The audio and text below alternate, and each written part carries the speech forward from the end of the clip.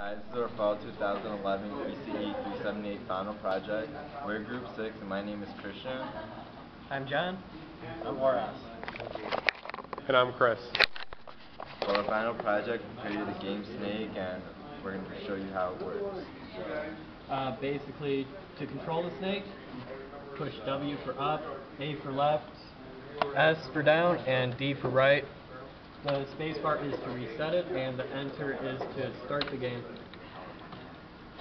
Move around with the air, with the keys, um, collecting fruit. As you eat more fruit, the scoreboard increments each time, and the snake gets one block longer.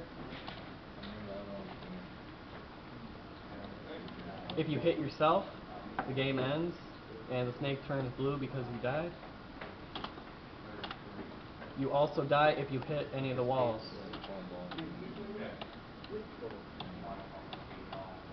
And uh, that's pretty much it.